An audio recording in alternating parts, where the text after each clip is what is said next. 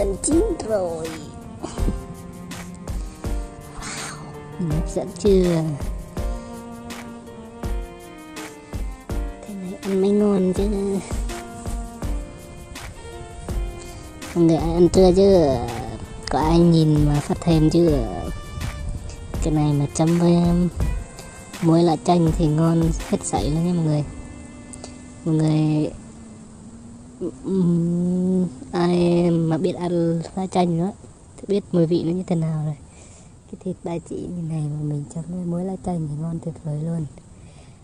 Muối lá chanh mà mình, lá chanh mình mình phải giã nha mọi người phải xay nhưng mình hay mua đồ trong quán người ta làm, người ta hay à, xay á. Người ta hay xay bằng máy, ăn nó không có ngon đâu. Nó không có thơm tại mình giả mình giả ra thì nó nó nát nó nhuyễn à, nó nát ra thì nó sẽ thơm hơn. Còn người ta xay nó chỉ nát ừ, nó chỉ à, nát nhỏ ừ, cho nó không có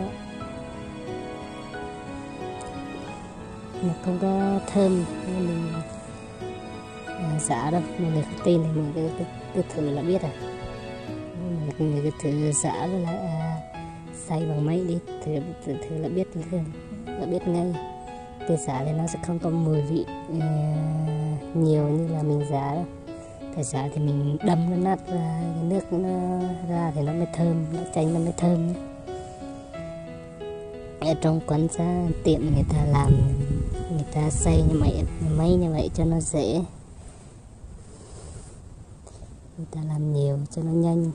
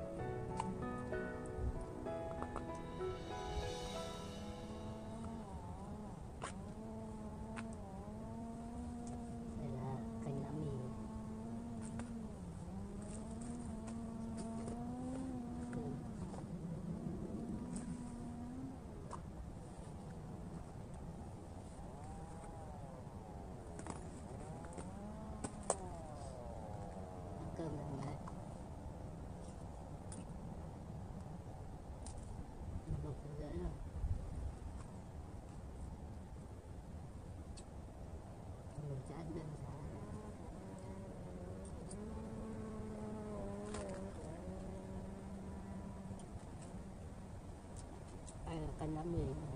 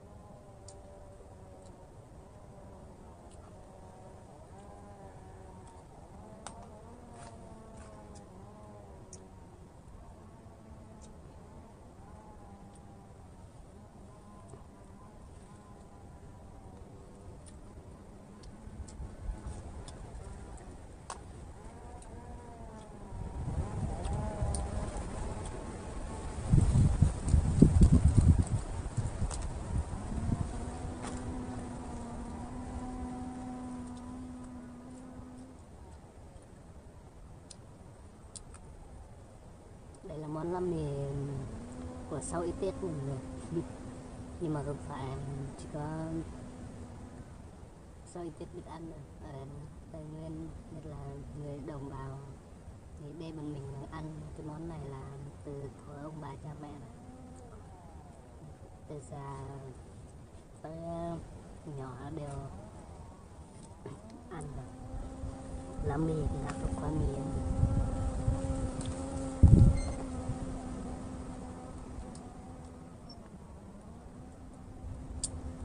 và là nếu mà không có ừ, không có internet, không có mạng thì mình không biết là còn có mấy bạn dân tộc khác cũng biết ăn như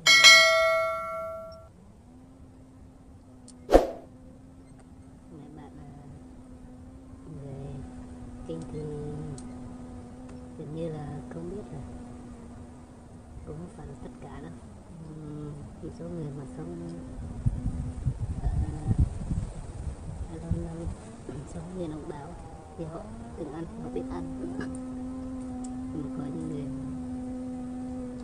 thì họ không dám ăn, họ không biết ăn.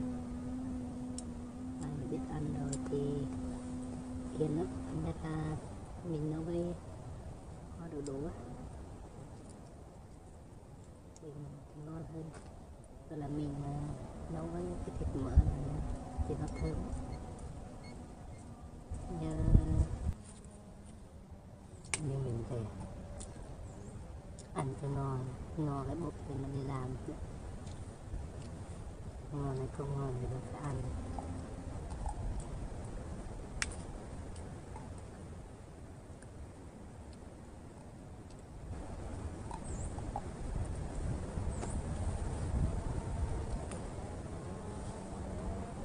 còn sống không ăn mà còn sống thì còn làm với vợ con.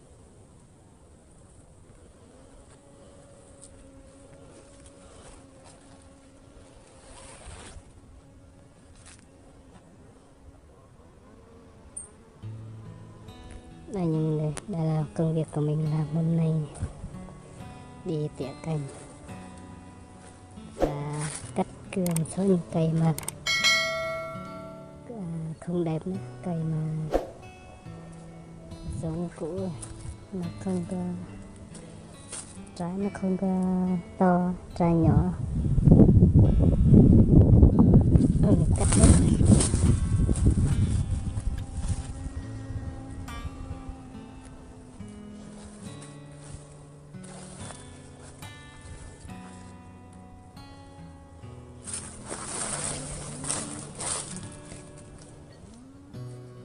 Là những cành mà sẽ cho trái em vào mùa tới này.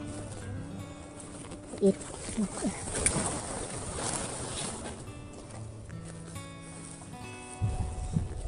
Mình sẽ cắt hết những cái cành mà cành mà nó khô mà nó chết rồi á là cành mà nó xấu quá, cành nó vàng. Mà nó, năm nay nó không, năm tiếp theo nó không cho trái là mình cắt hết và mình sẽ để lại một cái cành mà nó còn à, còn đẹp lại à, để cành. Mà này, năm tiếp theo để để để mà ăn này. Cái cành sâu quá thì mình cắt bỏ hết. Đưa mình mới biết đây là cây gì? Ai biết thì comment ờ, ở dưới phần mô tả nhé.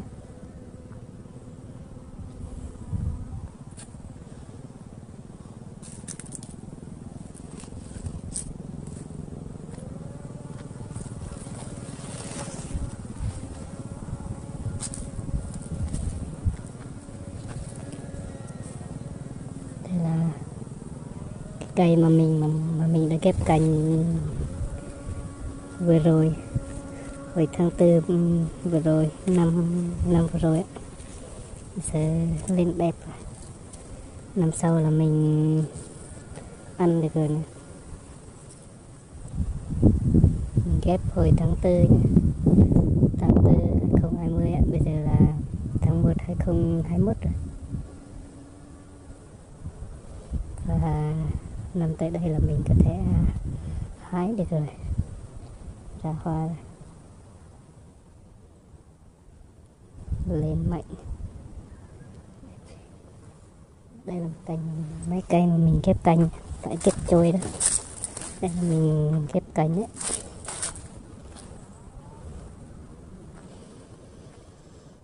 Mùa bây giờ là mùa khô hạn này, nên cà phê nó vàng hết rồi.